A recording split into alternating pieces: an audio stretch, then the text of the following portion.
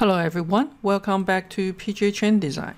Today I would like to show you this ring band with the hollow wire construction on the top and also solid on the bottom. Are you ready? Let's get started. Let's starting at the front view making a circle for the ring size I would like to have the size for 16 and you can set it up for whatever the ring size that you wanted to create. Let's find out how long is this one. I'm going to type it here length and it show 50.265 over there. So I'm gonna copy that one and coming into the top view, just draw a straight line and paste the number over there. So I will have this line here. This line mean if you have this straightened, it will be represent that. Now to make it more accurately, I would like to divide them into five sections.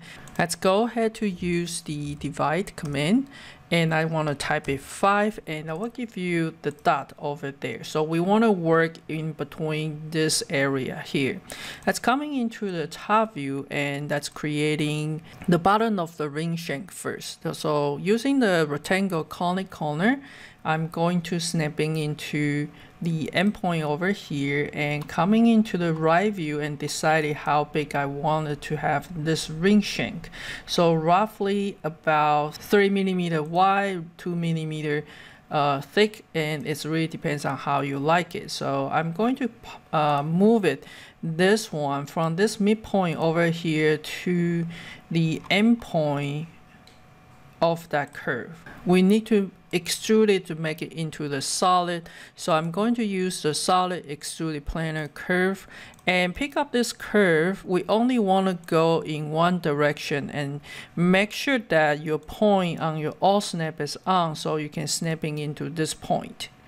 Alright, so that will be one side of the ring shank and we need to have that to mirror to the other side. So then we will have that ring shank as well. All right, let's dealing with the line in the middle. To This is the line that we have for the spiral. So we're gonna coming over uh, the curve tool. You have a one for the helix and make sure you choose around the curve. Then you select this curve and you can decide how dense you want it on this one. So right now you have a turn for 22. Let's give it a try by change it to 12 and see what happened there. Okay and see if this is what you like. You don't want to have it so big. You want it to be within the uh, thickness or the width of your ring shank. So we got something like that. We actually don't need all the way to the end. So I'm going to just coming over here to use the split command and I'm going to split with the point anywhere inside of it it's fine. So somewhere like here I'm just gonna remove those. Okay so now I have a one spiral over there. We need to make an uh, more spiral. So basically I'm gonna coming over here on my right view Control C and Control V so I make a copy. And I want three of them. So this one want to uh, rotate it 120 degree and for another one, I'm going to copy C, Control C and Control V, copy and paste, and do another 120 degree.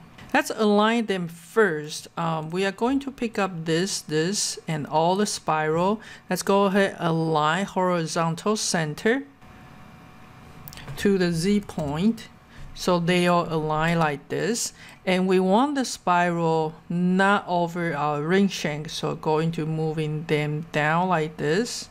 So it's not over our ring shank. It might be too much coming out, depends on the thickness of the piping. So I'm gonna give it a try. Let's try the pipe for 0.3 millimeter radius and see how that look over there. But if it is too thin, simply we are just gonna pipe it one more time. That's 2.4 millimeter. Then we will have something like this. Again, if you see this is stick it out and you really don't like it, it's because we get it a little bit thicker than what we plan to have. We can always scale it down with the gumball and then you will have something like that. Before you uh, Boolean them, you want to make sure that this area is fitted because it will be hard for you to file uh, on the bench after that. So let's give it a try for 0.35 millimeter and see how that goes. All right, nice and round over there. And we're gonna do the same thing nice and round over there. So all we need to do now is to select everybody and we wanna hit Boolean union. So now they are one piece. We need to make sure we're not changing the ring size. So coming over here, I would like to select the curve and also this one and we want to align to the bottom over here. So now the line is on the bottom of this piece that we just create. All right, so what we want, wanted to do is flow this back here. So let's go ahead to use the flow along curve. This is the object we want to flow. You hit enter and the base curve, you want to click this and the target curve, let's click on this end. All right, so it is going sideways because this is where our seam is. All we need to do is rotate it back 90 degree. Then we will have our ring band like this. I also have a bezel set in between the gap, just kind of giving you other option that what you can do on the design. A new course, Jewelry CAD Design Rhino 3D Introduction to Intermediate course just coming up. If you are new to Rhino and really like to learn jewelry design, I have a lot of video for step-by-step -step guide you through your learning process. I hope you enjoy this video. Please like and comment and let me know if you have other question. Thank you for watching. See you next.